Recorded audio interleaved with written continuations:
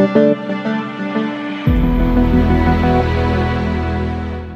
you know, last three weeks I came here to come take my dividends, which is about 12,000 Ghana cedis. I came in and I was told to fill a form, and that uh, deposit were going to hit my account. I provided uh, the, the account details. I came here last two weeks, it didn't go through. Last week I even came here, and then I came here today. The only thing the lady told me was that uh, my details had not been put into the system.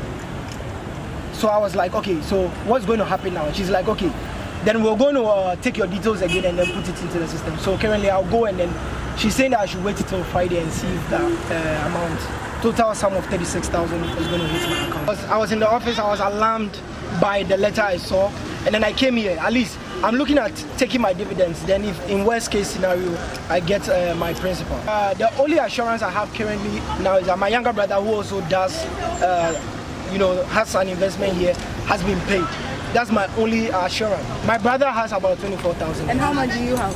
I have 120,000 Ghana cedis. I, I'm not. I'm not surprised.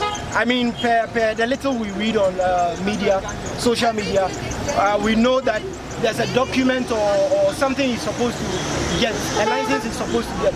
So I believe if he's able to, you know, sit down with them and then he takes the license from them, I'm sure everything will be smooth. In the truth of the whole matter is that if today my my principal is maturing today, I would like to take it because of the fear that you know Bank of Ghana might mess things up.